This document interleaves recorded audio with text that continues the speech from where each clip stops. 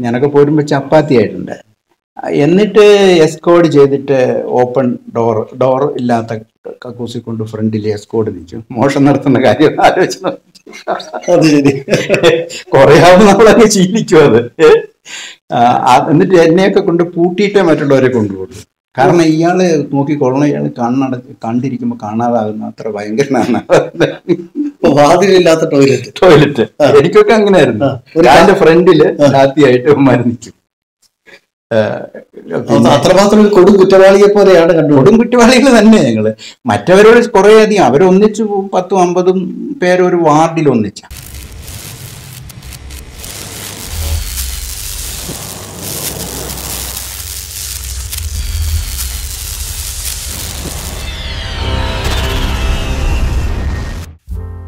നമസ്കാരം. സാംസ്കാരികത്തിന്റെ പുതിയ ലക്കത്തിലേക്ക് സ്വാഗതം. ഇന്ന് പ്രിയപ്പെട്ട വെള്ളത്തൂൽ സ്റ്റീഫൻ ചേട്ടന്റെ ജയിലറ വിശേഷങ്ങളാണ് പ്രേക്ഷകരുമായി പങ്കുവെക്കുന്നത്. എനിക്ക് എട്ട് വർഷം ഒമ്പത് വർഷം കേസുകളെല്ലാം തീരാൻ തന്നെ ജയിലുകൾ ജയിലായ ജയിൽ മുഴുവനും പോകുന്നു പോകുന്ന വഴി കുറച്ച് ടൈറ്റാണ് എന്താണെന്ന് വെച്ച് കഴിഞ്ഞാൽ കണ്ടിരിക്കുമ്പോൾ കാണാതാകുന്ന ഒരു മനുഷ്യനെന്നാണ് അവർക്ക് ഈ എസ്കോഡ് വരുന്ന പോലീസുകാർക്ക് കിട്ടുന്ന ഇൻഫർമേഷൻ അതുകൊണ്ട് അവർ വളരെ കർക്കശമായി ഹാങ്കപ്പൊക്കെ വെച്ച് ഒരു വലിയ പോലീസ് വാഹനത്തിൽ എട്ടൊമ്പത് ഒരു sub inspector assistant sub inspector എട്ടൊമ്പത് പോലീസുകാരായിട്ട് ഇങ്ങനെ കർശ കർശനമായി കൊണ്ടുപോകും അപ്പോൾ ഭക്ഷണം എന്തെങ്കിലും തരണമെങ്കിൽ ഏതെങ്കിലും ലോക്കപ്പിൽ കയറ്റിയിട്ട് ഭക്ഷണം തരത്തുള്ളൂ. അപ്പോൾ അതുകൊണ്ട് ഈ കണ്ണൂരിലേക്ക് പോകുന്നതിന് ഇടയ്ക്കുള്ള മിക്ക പോലീസ് ലോക്കപ്പിലും എന്നെ കൊണ്ട് അവർ കൂട്ടിയിട്ടുണ്ട്. അപ്പോൾ അങ്ങനെ പോയിട്ട് എട്ട് വർഷം ആയി കേസുകളെല്ലാം തീരാൻ ഏത് കാലഘട്ടമാണത്? ജയിൽവാസം അനുഭവിച്ചത് എഴുപത്തി ഒന്ന് മുതൽ എൺപത്തി അഞ്ച് വരെ കേസുകൾ തീരുന്നതിന് മുമ്പ് തിരുവരെ എൺപത് എൺപത്തിരണ്ടൊക്കെ ആകുമ്പോൾ തീരുന്നുണ്ട് ഞാൻ എഴുപത്തി ഒന്ന് മുതൽ എൺപത്തി അഞ്ച് വരെ ജീവിതം അതിൽ കൂടുതൽ സമയം തിരുവനന്തപുരം സെൻട്രൽ ജയിലിലാണ്. തിരുവനന്തപുരം സെൻട്രൽ ജയിൽ പിന്നെ അതൊക്കെ ജയിലുകളാണ് സബ്ജ ഒരിക്കലേ ഈ പിന്നെ കൊങ്ങാട് കേസിന് പോകുമ്പോഴത്തേക്ക് റിമാൻഡ് ചെയ്തത് ബിയൂർ സെൻട്രൽ ജയിലിൽ തൽക്കാലത്തേക്ക്. കണ്ണൂർ ഇപ്പം വർഗീസ് ഒന്നാം പ്രതി പാസു രണ്ടാം പ്രതി സ്റ്റീഫൻ മൂന്നാം പ്രതിയായിട്ടുള്ള തിരിശ്ശേരി വരുന്നതിന്റെ കേസുണ്ട്. വളരെ പ്രമാദമായ കേസാണ്. അപ്പോൾ ആ കേസ് സ്പെഷ്യൽ സെഷൻ ജഡ്ജിയുടെ അടുത്താണ് നടക്കുന്നത് തലശ്ശേരിയിൽ അതിനു മുമ്പ് അത് കമ്മിറ്റ് ചെയ്യാൻ കമ്മിറ്റ് ചെയ്യാൻ ഇതിനു മുമ്പ് സ്പെഷ്യൽ ഒരു സ്പെഷ്യൽ കോടതി ഹോസ്റ്റൽ സ്കൂളുണ്ട്. കണ്ണൂർ ജയിലിനോട് ചേർന്ന്. അപ്പോഴത്തേക്ക് എമർജൻസിയുടെ ഒരു കാലമായിരുന്നു എഴുപത്തഞ്ച്. അപ്പോഴൊരു പ്രത്യേകം ഓർക്കാനിരിക്കുന്ന ഒരു കാര്യം. എം വി രാഘവൻ എന്ന് കണ്ണൂർ ജില്ലാ സെക്രട്ടറി. അപ്പോൾ ഇവർ മിക്കപ്പോഴും പോലീസിനെതിരെ പ്രതിഷേധിക്കുകയും സമരങ്ങൾ നടത്തുകയും ചെയ്ത ഒരു ചരിത്രമുണ്ടല്ലോ. എമർജൻസി വന്നപ്പം ഇവരതിനെ ഏഹ്, പിന്നെ പ്രതിഷേധിക്കാനൊരു യോഗം വിളിച്ചു. സാധാരണ ഒരു മൂവായിരം ആളൊക്കെ അവർക്ക് നിസ്സാരമായ ഒരു ദിവസം കൊണ്ട് കഴിയുന്ന സ്ഥലത്ത് ഒരു പത്ത് മുന്നൂറ് പേരെ കിട്ടി. പോലീസുകാർക്ക് കർശനമായ നിർദ്ദേശമാണ് കൊടുത്തത്. നമ്മുടെ കരുണാകരന്റെ ഒരു വാഴ്ചക്കാലമാണ് ഭയങ്കര അടിച്ചു കൂടെ ഉള്ളവരൊക്കെ ഓടി അവർ പത്തിരുപത് പേരെ പിടിച്ചു. പിണറായി വിജയൻ അന്ന് അത്ര പ്രമുഖനായിട്ട് കേരളത്തിൽ അറിയുന്ന ആളല്ല. എം വി രാഘവന്റെ ജില്ലാ സെക്രട്ടറി ആയിട്ടുള്ള ഒരു കാലമാണ്. ഇവർ രണ്ടുപേരെയും ഷർട്ട് മുണ്ടൊന്നുമില്ലാതെ കൈ കൈ കാലിൽ തൂക്കി സെൻട്രതിയിൽ കൊണ്ടുവരുമ്പോഴാണ്ട് കൊണ്ടുവരുമ്പോഴാണ് എന്നെയൊക്കെ സ്പെഷ്യൽ കോടതിയിലേക്ക് കൊണ്ടുപോകും അപ്പം ഞാൻ കണ്ടിട്ടുണ്ട് അത്. എത്ര കേസുകളുണ്ടായിരുന്നു അതിപ്പോൾ എനിക്ക് തന്നെ ഓർമ്മയില്ല വാസ്തവത്തിൽ. നക്സലൈറ്റ് എന്ന പേരിൽ എവിടെയൊക്കെ ആരെന്തെല്ലാം ചെയ്തു അതിലെല്ലാം ക്രിമിനൽ കൂടാതെ അതിന്റെ സ്റ്റീഫൻ ഒന്നാം പ്രതി ആയിട്ടുണ്ടോ ഒന്നാം പ്രതി അങ്ങനെയല്ല അത് ഈ ക്രിമിനൽ ഗൂഢാലോചന ഇല്ലെങ്കിൽ ഈ സംഭവം നടക്കത്തില്ല. അതെ. അപ്പൊ രണ്ട് ഇങ്ങനെയാണ്. ക്രിമിനൽ ഗൂഢാലോചന ആക്ഷൻ ഇങ്ങനെയാണ് ഞങ്ങളുടെ കേസുകൾ വെക്കുക അപ്പോൾ അതിനകത്ത് ഞാനില്ലെങ്കിൽ ഈ സംഭവം ഇപ്പം കൊങ്ങാട് കേസിൽ എനിക്ക് യാതൊരു മനസ്സറിവ് പോലും ഇല്ലല്ലോ. ആ സംഭവം നടന്നു. അതിനൊരു ഒരു വർഷം മുമ്പ് അവിടെ ഒരു യോഗം നടന്നു. ആ യോഗത്തിൽ സ്റ്റീഫൻ വന്നു. സ്റ്റീഫന്റെ ഒരു പ്രമേയമാണ് ആക്ഷനിലേക്ക് പോയതെന്ന് അവർ പറയും. അതിൽ അതൊന്നും കാര്യമുള്ളതല്ല. ഞങ്ങൾ ഇന്ന് ഇന്ത്യൻ സാഹചര്യങ്ങളെ സംബന്ധിച്ച് ചർച്ച ചെയ്യാൻ വേണ്ടി ഒന്നാമത് ചാരുമജുണ്ടാർ ലൈനിനോട് ഞങ്ങൾക്ക് ഒത്തിരി വിയോജിപ്പുണ്ടായിരുന്നു ആദ്യം മുതലേ. പ്രധാന സംഗതി എന്താണെന്ന് വെച്ച് കഴിഞ്ഞാൽ ഇന്ത്യൻ ഭരണകൂടം എന്ന് പറയുന്നത് ഒരു സൈസ് ദല്ലാൾ മുതലാളിത്തം വളർന്നു വന്നൊരു ചരിത്രമാണുള്ളത്. അപ്പോൾ അതിനെക്കുറിച്ചൊക്കെ ഞങ്ങൾ വളരെ ഡീപ്പായിട്ടുള്ള ചർച്ച ചെയ്തു ഒന്ന് ബ്രിട്ടീഷുകാരുടെ ഭരണകാലത്ത് വെല്ലസ്ലി അവരുടെ പ്രഭുസഭയിൽ അതായത് ബ്രിട്ടീഷ് പാർലമെന്റിൽ. നമ്മുടെ ഏത് രാജ്യത്താണോ അധികാരം നിലനിർത്തേണ്ടത് ആ രാജ്യത്തെ ഭാഷയിൽ ഭരണം നടത്തും. അതിനുവേണ്ടി ഇവിടെ ഒരു പ്രത്യേക വർഗത്തെ വളർത്തിക്കൊണ്ടുവരാൻ വേണ്ടി ബ്രിട്ടൻ എടുത്തൊരു തീരുമാനമാണ് ആദ്യത്തെ നമ്മുടെ വിദ്യാഭ്യാസ പരിഷ്കാരം. വെല്ലസ്ലിയാണ് അത് കൊണ്ടുവരുന്നത്. അങ്ങനെ അതിനകത്തേക്ക് കൊണ്ടുവന്ന ഈ- ഈ ഒരു സൈസ് ഈ ജെല്ലാണ്. അതായത് ബ്യൂറോക്രാറ്റുകളായിട്ടുള്ള അല്ലെങ്കിൽ ഒരു മധ്യ രണ്ട് ഭരണ ജനങ്ങളെ ഭരണകൂടത്തെയും തമ്മിൽ സംയോജിപ്പിക്കുന്ന ഒരു ശക്തി അവർ വളർത്തിക്കൊണ്ടുവന്നു ആ വളർത്തിക്കൊണ്ടുവന്നത് ഒരു പ്രത്യേകത ഉണ്ടായില്ല ഇത്തിരി ചരിത്രം പറഞ്ഞാൽ അത് ബോധ്യമാവുള്ള ആളുകൾക്ക്. എന്താണെന്ന് വെച്ചാൽ പിന്നെ നമ്മുടെ രാജ്യത്ത് ലോകത്തിലെ ഏറ്റവും മെച്ചപ്പെട്ട കരകൗശലം കൈത്തൊഴിലൊക്കെ ഉണ്ടായിരുന്ന രാജ്യം നമ്മുടെ പട്ട് അതുപോലെ നിങ്ങൾക്കറിയാമല്ലോ. ഈ ഇൻ- വൽക്കരിച്ചപ്പം വ്യവസായവൽക്കരിച്ചപ്പം യൂറോപ്യൻ ചരക്കുകൾ യന്ത്രങ്ങളിൽ ചെയ്യുന്നത് കൊണ്ട് ഏറ്റവും വില കുറഞ്ഞും ഇന്ത്യയിലേക്ക് വരാൻ തുടങ്ങി. അപ്പോൾ ഇന്ത്യൻ കരകൗശലം കൈത്തൊഴിൽ വളരാൻ സാധിച്ചില്ല. എല്ലാ യൂറോപ്യൻ രാജ്യങ്ങളിലും മുതലാളിത്തം വളർന്നു വന്നിട്ടുള്ളത് കരകൗശലം കൈത്തൊഴിൽ അത് പിന്നെ യന്ത്രവൽക്കരണത്തിലേക്ക് പോയി ആധുനിക യന്ത്രങ്ങൾ വന്നപ്പോഴത്തേക്കും യന്ത്രവൽകൃതമായിട്ട് വളർന്നു വന്നു. ഇവിടെ സ്വതന്ത്രമായ ഒരു മുതലാളിത്തത്തെ വളരാൻ സാമ്രാജ്യത്വം അനുവദിച്ചില്ല അവരുടെ താല്പര്യങ്ങളുണ്ടായിരുന്നു അതിനകത്ത്. അതുകൊണ്ടാണ് നമ്മുടെ ലോകോത്തരമായിട്ടുള്ള കരകൗശലവും കൈത്തൊഴിലും സ്തംഭിച്ചു പക്ഷേ ഈ പണം കുന്നുകൂടിയവർ ഇന്ത്യയിൽ ഒരു പ്രത്യേകതരം ഹുണ്ടിക മൂലധനമായിട്ട് ആ ഹുണ്ടിയ മൂലധനത്തിന്റെ ഒരു വലിയ സംഖ്യ കൊടുത്തിട്ടാണ് ടാറ്റ ബ്രിട്ടൻ ഒഴിഞ്ഞു പോകുന്നതിന് മുമ്പ് അവരുടെ കുറേ സ്ഥാപനങ്ങൾ മേടിക്കുന്നത്. അപ്പോൾ ഇതാണ് ഇന്ത്യൻ മുതലാളിത്തത്തിന്റെ ഉത്ഭവത്തിന്റെ ഒരു ചരിത്രം. അപ്പൊ നമ്മൾ ഇങ്ങനെ ജയിൽവാസം അനുഭവിക്കുമ്പോൾ അതുമായിട്ട് ബന്ധപ്പെട്ടുള്ള മാനസിക സംഘർഷമുണ്ട്. പക്ഷെ ഇതിനിടയിൽ പുസ്തകങ്ങൾ എങ്ങനെയാണ് തുണയായത്? അതായത് എല്ലാ ജയിലിലുള്ള ജയിലിലെന്ന് പറഞ്ഞാൽ ആദ്യകാലത്ത് അങ്ങനെയല്ല. അവർക്ക് സ്ട്രൈറ്റ് നിർദ്ദേശമാണ്. എന്താ വെച്ചാൽ ഇവർ ഭയങ്കര കുഴപ്പക്കാരാണ്. സ്ലേറ്റുകൾ അതുകൊണ്ട് ജയിൽ പ്രിസൺ റൂളിൽ ഒത്തിരി ആനുകൂല്യമുണ്ട് ശിക്ഷിച്ചു ചെല്ലുന്നവന് എടാന്ന് പോലും വിളിച്ചു കൂടുന്നതാണ് പ്രിസൺ റൂളിലുണ്ട് അവൻ നമ്പർ കൊടുക്കും. അടിച്ചു കഴിഞ്ഞാൽ അവരുടെ ആ ഷർട്ടിലൊക്കെ നമ്പർ ഇങ്ങനെ ഇടി. അവർ പെർഷൻ അതായത് സീൽ ചെയ്ത് വെച്ചിരിക്കും. ആ നമ്പറാണ് അവനെ വിളിക്കുക. എടാന്ന് പോലും വിളിക്കരുതെന്നാണ് പ്രശ്നം റൂൾ പക്ഷേ താ ചേർത്തും മാ ചേർത്തും കാ നമ്മൾ സാറിന് ഉപയോഗിക്കാത്ത ഭാഷയാണല്ലോ പറയുന്നത് ഈ വാടന്മാരെന്ന് പറഞ്ഞാൽ ഈ ആളുകളെ ഇങ്ങനെ തല്ലിയും ഒന്നും തല്ലി ഇടിച്ചും. അവർക്കത് അങ്ങനെ ഒരു ഹാബിറ്റ് ആയി പോയിട്ടുള്ള മർദ്ദനം ഏറ്റിട്ടുണ്ട് അതന്നെ ചോദ്യം നിങ്ങൾ ചോദിക്കുന്നത് ആക്സിഡന്റുകൾ ജയിലിൽ ചെന്ന് ആർക്കെങ്കിലും വർദ്ധന ഏൽക്കാതെ ഉണ്ടോന്നില്ല പഞ്ഞി പഞ്ഞി അല്ലേ? പക്ഷെ പിന്നെ എന്നെ എന്ന് വെച്ച് കഴിഞ്ഞാൽ ഒരു കാര്യം എന്ന് വെച്ച് കഴിഞ്ഞാൽ ഞാനൊരു പിന്നെ കേരളം മുഴുവൻ ഇന്ത്യ മുഴുവൻ അറിയുന്ന ഒരു പൊളിറ്റീഷ്യൻ അതായത് പൊളിറ്റിക്കൽ ക്രിമിനൽ എന്ന തരത്തിൽ അവർ കണക്കാക്കുന്ന ഒരാളെന്നുകൊണ്ട് ഈ പോലീസിലെ തന്നെ ഒത്തിരി ആളുകൾക്കുണ്ടല്ലോ പുറമേക്കല്ലെങ്കിലും മാനസികമായതിനൊരു സിമ്പതി ഉണ്ടായിരുന്നു. എന്താ കാര്യമെന്ന് ചോദിച്ചാൽ നമ്മൾ ശരിക്കും പിന്നെ പോക്കറ്റ് വീർപ്പിക്കാൻ പോയതല്ല. സുഖിക്കാൻ വേണ്ടി പോയതല്ല. ഞങ്ങളൊരു ഇന്ത്യൻ ഭരണകൂടം ഇന്ന തരത്തിലുള്ളതാണ് എന്ന് മനസ്സിലാക്കിയിട്ട് ഭരണകൂടത്തിന് എതിരായിട്ട് ചെയ്തിട്ടുള്ള വലിയ ആയുധങ്ങൾ ഞങ്ങൾക്കില്ല. മോഡേൺ വെപ്പൺസ് ഞങ്ങൾക്കില്ല. അതുകൊണ്ട് ഞങ്ങൾ പ്രാകൃതമായ ആയുധം കൊണ്ട് സായുധ സമരത്തിലൂടെ വളർന്ന് വലിയ സൈന്യമാകാനും പ്രദേശങ്ങളെ മോചിപ്പിക്കാനും അങ്ങനെ വലിയ പിന്നെ ആംഡ് സ്ട്രഗിളിന്റെ പൊളിറ്റിക്സ് എടുത്ത ആളുകളാണ് ഞങ്ങൾ. അപ്പോൾ ഈ ആംഡ് സ്ട്രഗിൾ എന്ന് പറയുമ്പോൾ ഗവൺമെന്റിനെതിരെ ഏറ്റവും പ്രാകൃതമായ യുദ്ധമുറ തന്നെയായിരുന്നു നിവൃത്തിയുണ്ടായിരുന്നു അതുകൊണ്ട് കിരാതമെന്നൊക്കെ പറയാവുന്ന തരത്തിൽ പ്രാകൃതമായിട്ടുള്ള യുദ്ധമുറ ഭരണകൂടത്തിന് എടുത്ത് ആളുകളാണ് ഞങ്ങൾ. അതിൽ ഈ ഭരണകൂടത്തിന്റെ ചാരുമരുന്താറിന്റെ ഒരു വീക്ഷണം പിന്നെ ഞാൻ തിരിച്ചത് അതിൽ നിന്ന് മാറിപ്പോയത് അതിനെ വിമർശിക്കുന്നതിലേക്ക് പോയത്. ചാരുമരുന്താരാണ് ഇന്ത്യയിൽ ഫ്യൂഡലിസവും ഫ്യൂഡലിസത്തിന്റെ മാറ്റം വന്ന രൂപങ്ങളുമാണ് നിൽക്കുന്നത് അതിനെ ശാരീരികമായി തന്നെ അവരെ ഉന്മൂലനം ചെയ്യണം. അവരുടെ സ്വർണവും സ്വത്തും ഒക്കെ കണ്ടെടുത്തിട്ട് നമുക്ക് പിരിവില്ല. ഇത് ഉപയോഗിക്കണം എന്നുള്ളത്തേക്ക് പോകുന്നു. പക്ഷേ ഗതികേടെന്ന് പറയാം അല്ലെങ്കിൽ നമുക്കതിനകത്ത് വന്നത് ചൈനീസ് കമ്മ്യൂണിസ്റ്റ് പാർട്ടി ചാരുമജുന്ദാറിന്റെ പാർട്ടി അംഗീകരിച്ചു. സാർവദേശീയമായി ഞങ്ങൾ ചൈനീസ് കമ്മ്യൂണിസ്റ്റ് പാർട്ടി അംഗീകരിക്കുന്നു വരുന്ന എല്ലാ സ്റ്റേറ്റും അപ്പം ഞങ്ങൾക്ക് ഇതിനെ അംഗീകരിക്കേണ്ടി വന്നു. എങ്കിലും ചാരുമജുന്ദാറിനോട് വിയോജിപ്പുണ്ടായിരുന്നു. അപ്പം ഞങ്ങളന്ന് പുറത്തുള്ള കുറച്ച് ആളുകൾ എന്ന് പറഞ്ഞാൽ സാമാന്യം നല്ല വായനയും നല്ല സമർപ്പണ ബോധമുള്ള ഒരുപാട് പേര്. ഗ്രോവാസു പിന്നെ രാവുണ്ണി തൃശ്ശൂരിലെ സദാശിവൻ കാഞ്ഞാണി സദാശിവൻ. അങ്ങനെ ഒരുപാട് പേര് ഒരുപാട് പേര്.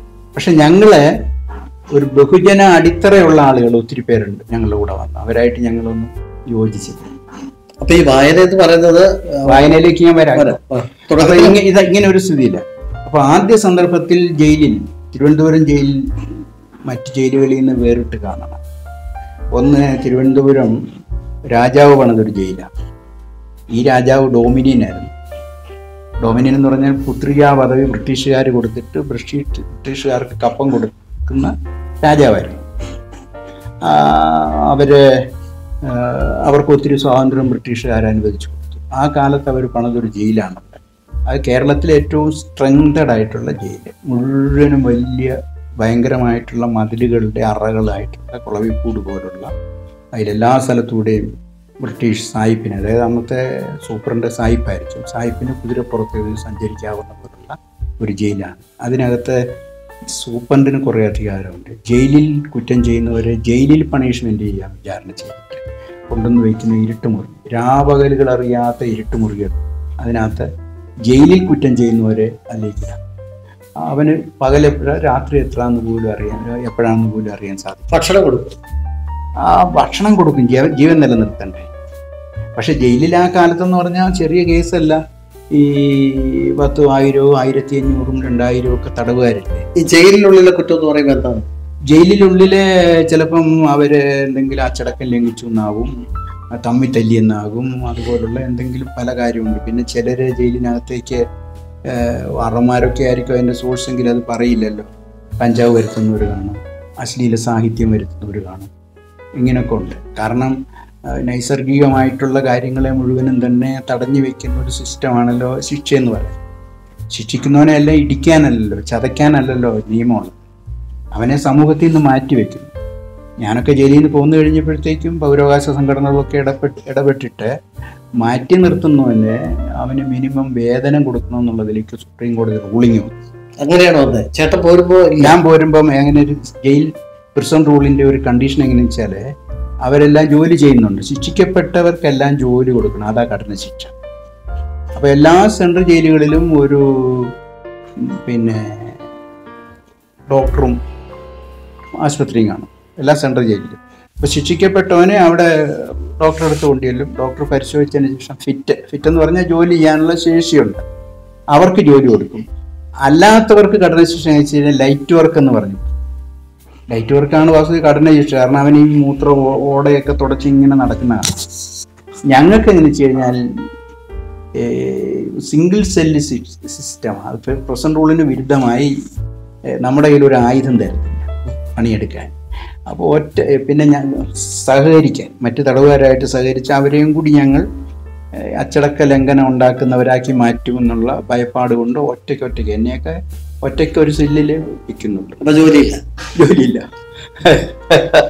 രാവിലെ ആ കാലത്ത് ഗോതമ്പുണ്ടേ ഉള്ളത് പിന്നെ സെൻട്രൽ ജയിലുകളിൽ അത് ചപ്പാത്തിയാക്കി.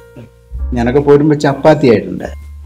എന്നിട്ട് എസ്കോഡ് ചെയ്തിട്ട് ഓപ്പൺ ഡോർ ഡോർ ഇല്ലാത്ത കക്കൂസി കൊണ്ട് ഫ്രണ്ടിൽ എസ്കോഡ് നിൽക്കും. മോഷം നടത്തുന്ന കാര്യം ആലോചിച്ചത് അത് ശരി കുറെ ആവുമ്പോൾ നമ്മളങ്ങ് ശീലിക്കും അത് എന്നിട്ട് എന്നെയൊക്കെ കൊണ്ട് പൂട്ടിയിട്ടേ മറ്റുള്ളവരെ കൊണ്ടുപോകും. കാരണം ഇയാൾ നോക്കിക്കൊള്ളണം ഇയാൾ കണ്ണട കണ്ടിരിക്കുമ്പോ കാണാതാകുന്ന അത്ര ഭയങ്കരനാണ്. വാതിലില്ലാത്ത ടോയ്ലറ്റ് ടോയ്ലറ്റ് എനിക്കൊക്കെ അങ്ങനെയായിരുന്നു. എന്റെ ഫ്രണ്ടിൽ ആദ്യമായിട്ട് മരുന്നിച്ചു അത്രമാത്രം കൊടും കുറ്റവാളിയെ പോലെയാണ് കണ്ടു. കൊടും കുറ്റവാളികൾ തന്നെ ഞങ്ങൾ. മറ്റവരോട് കുറെ അധികം അവരൊന്നിച്ച് പത്തും അമ്പതും പേരൊരു വാർഡിൽ ഒന്നിച്ച. പക്ഷെ പിന്നെ എന്നെ എന്ന് വെച്ച് കഴിഞ്ഞാൽ ഒരു കാര്യം എന്ന് വെച്ച് കഴിഞ്ഞാൽ ഞാനൊരു പിന്നെ കേരളം മുഴുവൻ ഇന്ത്യ മുഴുവൻ അറിയുന്ന ഒരു പൊളിറ്റീഷ്യൻ അതായത് പൊളിറ്റിക്കൽ ക്രിമിനൽ എന്ന തരത്തിൽ അവർ കണക്കാക്കുന്ന ആ, ഈ പോലീസിലെ തന്നെ ഒത്തിരി ആളുകൾക്കുണ്ടല്ലോ പുറമേക്കല്ലെങ്കിലും മാനസികമായതിനൊരു സിമ്പതിയുണ്ട് എന്താ കാര്യമെന്ന് ചോദിച്ചാൽ നമ്മൾ ശരിക്കും പിന്നെ പോക്കറ്റ് വീർപ്പിക്കാൻ പോയതല്ല സുഖിക്കാൻ വേണ്ടി പോയതല്ല. ഞങ്ങളൊരു ഇന്ത്യൻ ഭരണകൂടം ഇന്ന തരത്തിലുള്ളതാണ്. എന്ന് മനസ്സിലാക്കിയിട്ട്. ഭരണകൂടത്തിന് എതിരായിട്ട് ചെയ്തിട്ടുള്ള വലിയ ആയുധങ്ങൾ ഞങ്ങൾക്കില്ല. മോഡേൺ വെപ്പൺസ് ഞങ്ങൾക്കില്ല. അതുകൊണ്ട് ഞങ്ങൾ പ്രാകൃതമായ ആയുധം കൊണ്ട് സായുധ സമരത്തിലൂടെ വളർന്ന വലിയ സൈന്യമാകാനും പ്രദേശങ്ങളെ മോചിപ്പിക്കാനും അങ്ങനെ വലിയ ആംഡ് സ്ട്രഗിളിന്റെ പൊളിറ്റിക്സ് എടുത്ത ആളുകളാണ് ഞങ്ങൾ. അപ്പോൾ ഈ ആംഡ് സ്ട്രഗിൾ എന്ന് പറയുമ്പോൾ ഗവൺമെന്റിനെതിരെ ഏറ്റവും പ്രാകൃതമായ യുദ്ധമുറ തന്നെയായിരുന്നു. നിവൃത്തിയുണ്ടായിരുന്നു അതുകൊണ്ട് കിരാതം എന്നൊക്കെ പറയാവുന്ന തരത്തിൽ പ്രാകൃതമായിട്ടുള്ള യുദ്ധമുറ ഭരണകൂടത്തിനെടുത്ത് എടുത്ത ആളുകളാണ് ഞങ്ങൾ അതിൽ ഈ ഭരണകൂടത്തിന്റെ ചാരുമരുന്താറിന്റെ ഒരു വീക്ഷണം പിന്നെ ഞാൻ തിരുത്തിയത്. അതിൽ നിന്ന് മാറിപ്പോയത് അതിനെ വിമർശിക്കുന്നതിലേക്ക് പോയത്.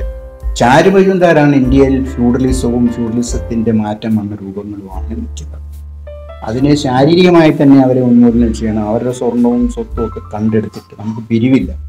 ഇത് ഉപയോഗിക്കണം എന്നുള്ളത്തേക്ക് പോകും പക്ഷേ ഗതികേടെന്ന് പറയാം. അല്ലെങ്കിൽ നമുക്ക് അതിനകത്ത് വന്നത് ചൈനീസ് കമ്മ്യൂണിസ്റ്റ് പാർട്ടി ചാരുമജുന്ദാറിന്റെ പാർട്ടി അംഗീകരിച്ചു.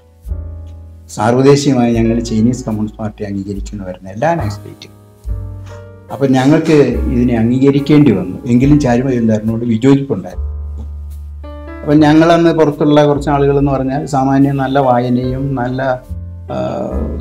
സമർപ്പണ ബോധമുള്ള ഒരുപാട് പേര്. ഗ്രോവാസു പിന്നെ രാവുണ്ണി തൃശ്ശൂരിലെ സദാശിവൻ കാഞ്ഞാണി സദാശിവൻ. അങ്ങനെ ഒരുപാട് പേര് ഒരുപാട് പേര്. പക്ഷെ ഞങ്ങളെ ഒരു ബഹുജന അടിത്തറയുള്ള ആളുകൾ ഒത്തിരി പേരുണ്ട് ഞങ്ങളുടെ കൂടെ വന്നു. അവരായിട്ട് ഞങ്ങളൊന്നും യോജിച്ചില്ല. അപ്പൊ ഈ വായന എന്ന് പറയുന്നത് വായനയിലേക്ക് ഞാൻ വരാം. ഇത് ഇങ്ങനെ ഒരു സ്ഥിതിയില്ല. അപ്പൊ ആദ്യ സന്ദർഭത്തിൽ ജയിലിൽ തിരുവനന്തപുരം ജയിലിൽ മറ്റ് ജയിലുകളിൽ നിന്ന് വേറിട്ട് കാണണം. ഒന്ന് തിരുവനന്തപുരം രാജാവ് പണിതൊരു ജയിലാണ്. ഈ രാജാവ് ഡോമിനിയൻ ആയിരുന്നു ഡോമിനിയൻ എന്ന് പറഞ്ഞാൽ പുത്രികാ പദവി ബ്രിട്ടീഷുകാർ കൊടുത്തിട്ട് ബ്രിട്ടീഷ് ബ്രിട്ടീഷുകാർക്ക് കപ്പം കൊടുക്കുന്ന രാജാവായിരുന്നു. അവർ അവർക്ക് ഒത്തിരി സ്വാതന്ത്ര്യം ബ്രിട്ടീഷുകാർ അനുവദിച്ചു കൊടുത്തു. ആ കാലത്ത് അവർ പണിതൊരു ജയിലാണ്.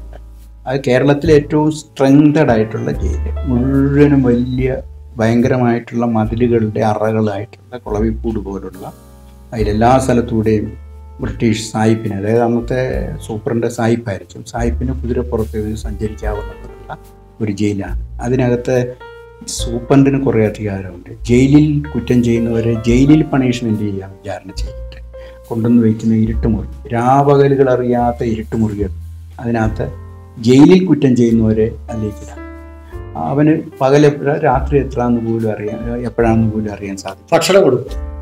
ആ ഭക്ഷണം കൊടുക്കും ജീവൻ ജീവൻ നിലനിർത്തണ്ടേ പക്ഷെ ജയിലിൽ ആ കാലത്തെന്ന് പറഞ്ഞാൽ ചെറിയ കേസല്ല. ഈ പത്ത് ആയിരവും ആയിരത്തി അഞ്ഞൂറും രണ്ടായിരവും ഒക്കെ തടവുകാരല്ലേ? ഈ ജയിലിനുള്ളിലെ കുറ്റം എന്ന് പറയുമ്പോൾ എന്താണ്? ജയിലിനുള്ളിലെ ചിലപ്പം അവർ എന്തെങ്കിലും അച്ചടക്കം ലംഘിച്ചു എന്നാവും തമ്മി തല്ലിയെന്നാകും അതുപോലുള്ള എന്തെങ്കിലും പല കാര്യമുണ്ട്. പിന്നെ ചിലര് ജയിലിനകത്തേക്ക് വാറന്മാരൊക്കെ ആയിരിക്കും അതിന്റെ സോഴ്സ് എങ്കിൽ അത് പറയില്ലല്ലോ. കഞ്ചാവ് വരുത്തുന്നവർ കാണും അശ്ലീല സാഹിത്യം വരുത്തുന്നവർ കാണും. ഇങ്ങനെയൊക്കെ ഉണ്ട്. കാരണം നൈസർഗികമായിട്ടുള്ള കാര്യങ്ങളെ മുഴുവനും തന്നെ തടഞ്ഞു വെക്കുന്ന ഒരു സിസ്റ്റമാണല്ലോ ശിക്ഷ എന്ന് പറയുന്നത്. ശിക്ഷിക്കുന്നവനെ എല്ലാം ഇടിക്കാനല്ലല്ലോ ചതയ്ക്കാനല്ലല്ലോ നിയമമുള്ളത് അവനെ സമൂഹത്തിൽ നിന്ന് മാറ്റി വെക്കുന്നു. ഞാനൊക്കെ ജയിലിൽ നിന്ന് പോന്നു കഴിഞ്ഞപ്പോഴത്തേക്കും പൗരാവകാശ സംഘടനകളൊക്കെ ഇടപെട്ട് ഇടപെട്ടിട്ട് മാറ്റി നിർത്തുന്നവനെ അവന് മിനിമം വേതനം കൊടുക്കണം എന്നുള്ളതിലേക്ക് സുപ്രീം കോടതി റൂളിംഗ് അങ്ങനെയാണോ ചേട്ടൻ പോരുമ്പോ. ഞാൻ പോരുമ്പോ അങ്ങനെ ഒരു ജയിൽ പ്രിസൺ റൂളിന്റെ ഒരു കണ്ടീഷൻ എങ്ങനെയെന്ന് വെച്ചാൽ അവരെല്ലാം ജോലി ചെയ്യുന്നുണ്ട്. ശിക്ഷിക്കപ്പെട്ടവർക്കെല്ലാം ജോലി കൊടുക്കണം. അതാ കഠിന ശിക്ഷ. അപ്പോൾ എല്ലാ സെൻട്രൽ ജയിലുകളിലും ഒരു പിന്നെ ഡോക്ടറും ആശുപത്രിയും കാണും. എല്ലാ സെൻട്രൽ ജയിലിലും. അപ്പോൾ ശിക്ഷിക്കപ്പെട്ടവനെ അവിടെ ഡോക്ടറെ അടുത്ത് കൊണ്ടുചെല്ലും. ഡോക്ടർ പരിശോധിച്ചതിന് ശേഷം ഫിറ്റ് ഫിറ്റ് എന്ന് പറഞ്ഞാൽ ജോലി ചെയ്യാനുള്ള ശേഷിയുണ്ട്. അവർക്ക് ജോലി കൊടുക്കും. അല്ലാത്തവർക്ക് കഠിന ശിക്ഷ എന്ന് വെച്ച് കഴിഞ്ഞാൽ ലൈറ്റ് വർക്ക് എന്ന് പറഞ്ഞു. ലൈറ്റ് വർക്കാണ് വാസു കഠിന ചെയ്യുന്നത് കാരണം അവൻ ഈ മൂത്ര ഓടയൊക്കെ തുടച്ച് ഇങ്ങനെ നടക്കുന്നതാണ് ഞങ്ങൾക്ക് എങ്ങനെ വെച്ച് കഴിഞ്ഞാൽ സിംഗിൾ സെല്ല് സിസ്റ്റം അത് പ്രസന്റ് റൂളിന് വിരുദ്ധമായി നമ്മുടെ കയ്യിൽ ഒരു ആയുധം തരത്തില്ല പണിയെടുക്കാൻ. അപ്പോൾ ഒറ്റ പിന്നെ ഞാൻ സഹകരിക്കാൻ മറ്റ് തടവുകാരായിട്ട് സഹകരിച്ച് അവരെയും കൂടി ഞങ്ങൾ അച്ചടക്ക ലംഘനം ഉണ്ടാക്കുന്നവരാക്കി മാറ്റുമെന്നുള്ള ഭയപ്പാട് കൊണ്ട് ഒറ്റയ്ക്ക് ഒറ്റയ്ക്ക് എന്നെയൊക്കെ ഒറ്റയ്ക്ക് ഒരു സെല്ലിൽ വിൽക്കുന്നുണ്ട് അപ്പൊ ജോലിയില്ല. ജോലിയില്ല.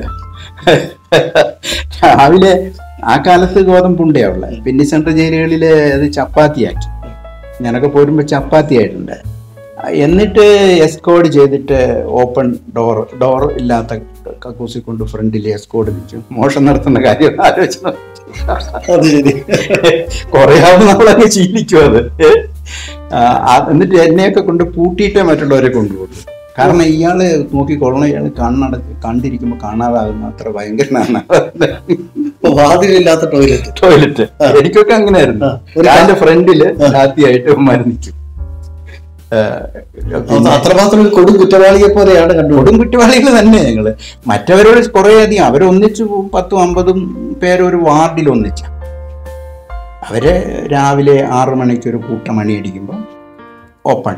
അതെല്ലാം ഓപ്പൺ ആകും അവർ ദിനചര്യയൊക്കെ നടത്തി പിന്നെ അപ്പോഴത്തേക്കും പ്രഭാത ഭക്ഷണം അവർക്ക് കൊടുക്കും. അന്ന് ഗോതമ്പുണ്ടയും അത് വേവിക്കുന്ന വെള്ളം കഞ്ഞിവെള്ളം പോലെ അതും കൊടുക്കും.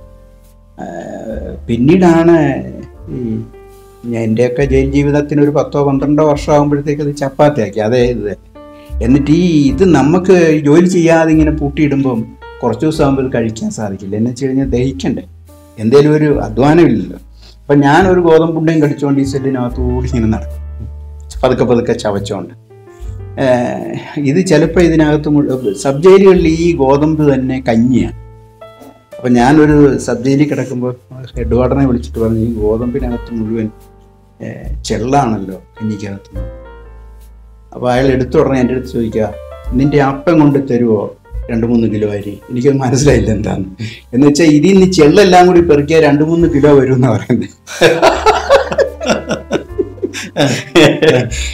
അപ്പൊ എനിക്കത് മനസ്സിലായില്ല. അയാളങ്ങ് പോയി. ഈ പിന്നെ ഈ ഇത് ശുദ്ധി വൃത്തിയാക്കിയ ഗോതമ്പല്ലായിരിക്കും കൊടുക്കും. അത് ജയിലിലൊക്കെ അതെ. കാരണം ശരിയാ ഒരു ചാക്ക് ഗോതമ്പിനകത്തുനിന്ന് അതിന്റെ പിന്നെ ഗാഷ്ടവും ചെള്ളിനെയും ഒക്കെ പെറുക്കുക എന്നുള്ളത് അസാധ്യമാണെന്ന് മാത്രമല്ല അത് ഒരു വലിയ തൂക്കം വരും. ഒരു തടവുകാരൻ ഇത്ര ഗ്രാം ഭക്ഷണം എന്നുള്ളത് അഡ്ജസ്റ്റ് ചെയ്യണ്ടേ? അന്നത്തെ സ്ഥിതി അതായിരുന്നു. അപ്പൊ ഈ ഗോതമ്പട്ടയുടെ നിറം എന്താ? ഗോതമ്പട്ടയ്ക്ക് സാറിന് നിറം വരും. ചെള്ള അത്രയ്ക്ക് നിറഞ്ഞിരിക്കില്ലല്ലോ. ചെള്ളൊക്കെ നമുക്ക് ഇതിനകത്ത് നോക്കി നോക്കാം. കുറെ കഴിയുമ്പോൾ നമ്മൾ ഇത് ശീലിക്കുന്നേ ഇപ്പൊ നമുക്ക് പറയും പാമ്പിനെ തിന്നുമെന്ന് കേട്ടാൽ തന്നെ നമുക്ക് അറുപ്പല്ലേ? നാഗന്മാര് പാമ്പിനെ തിന്നും ഇന്ത്യക്കാരല്ലേ നാഗന്മാര്? പാമ്പിനെ കഴിക്കുമല്ലോ? പട്ടി. പട്ടിയെ തിന്നുമെന്ന് കേട്ടാൽ നമുക്ക് അറുപ്പല്ലേ? നാഗാലാൻഡിൽ പട്ടിനെ പട്ടിയെ ഭക്ഷണം കഴിക്കുന്നുണ്ട്.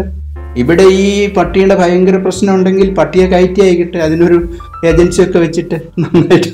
ധാരാളം അവർക്ക് വലിയ കാര്യമാണ് ചില രാജ്യങ്ങളിൽ സ്പെഷ്യൽ ഭക്ഷണമാണ് നായി മാംസം. അത് അവിടെ അങ്ങനെയുള്ളത് കയറ്റി അയക്കാവുന്ന സംവിധാനം നോക്കട്ടെ. കന്നുകാലിയെയും പന്നിയും ഒക്കെ കയറ്റി അയക്കുന്ന പോലുള്ള സംവിധാനം ഉണ്ടാക്കട്ടെ? ഈ തരുവിൽ ഇതിങ്ങനെ മനുഷ്യനെ ഉപദ്രവിക്കാൻ പാടില്ലല്ലോ. ആ അത് അതിന്റെ രീതിയിലുള്ള ആളുകൾ ആലോചിക്കട്ടെ. എല്ലാ മൃഗങ്ങളെയും കയറ്റി അയക്കുന്നെങ്കിൽ ഇതിനെയും കയറ്റി അയച്ചു തീർച്ചയായിട്ടും തീർച്ചയായിട്ടും. അപ്പൊ അങ്ങ് ഈ അവസാന കാലഘട്ടമായപ്പോഴേക്കും ജയിലിലുള്ളവർക്ക് വേതനം ലഭിക്കുന്ന ഒരു അവസ്ഥ എത്തി അവസാനം ആദ്യം മുതലേ ഉണ്ട് ചെറിയ ഇതാണ്. പിന്നീട് അത് മിനിമം ഏറ്റവും ചുരുങ്ങിയ പുറത്തുള്ള വേതനം കൊടുക്കുന്നത് സുപ്രീം കോടതി റൂളിംഗ് ആണ് അപ്പോൾ അവർ പോരുമ്പോൾ കുറച്ച് പൈസയുണ്ട്. നമ്മളുടെയൊക്കെ കാലത്ത് എങ്ങനെ വെച്ച് കഴിഞ്ഞാൽ റിമിഷൻ എന്ന് പറഞ്ഞിട്ട് ജയിലിൽ ഒരു ഏർപ്പാടുണ്ട് ജോലി ചെയ്യുന്നതിന് ഇത്ര പൈസ മാറ്റി വെച്ചിട്ട് ഒരു വർഷത്തിലെന്നോ മറ്റോ ഇത്ര ദിവസം വാങ്ങാമൊക്കെ. ഈ ഇതിൽ നമ്മൾ പുറത്തുനിന്ന് പണം കൊണ്ടൊന്നും വാങ്ങിക്കില്ലല്ലോ അത്. അപ്പോൾ അത് ശിക്ഷയുടെ ഭാഗമായിട്ട് ജോലി ചെയ്യുന്നതിൽ നിന്ന് ശേഖരിക്കുന്ന പൈസകളിൽ നിന്നുള്ള റിമിഷൻ സിസ്റ്റം ഉണ്ട്. എല്ലാ ജയിലിലും ഉണ്ട്. അങ്ങനെയുണ്ട്. അപ്പം നമുക്കതില്ല. കാരണം എന്താ വെച്ച് കഴിഞ്ഞാൽ നക്സലൈറ്റുകളെ സ്പെഷ്യലായിട്ട് നിർദ്ദേശം അനുസരിച്ച് പ്രസന്റ് റൂൾ അനുസരിച്ചല്ല. കേന്ദ്ര ഗവൺമെന്റിന്റെ നിർദ്ദേശം അനുസരിച്ച് സംസ്ഥാന സർക്കാരുകൾ ഇവിടെ നിർദ്ദേശം കൊടുത്തിട്ടാണ് സൂക്ഷിച്ചു വയ്ക്കുന്നത്.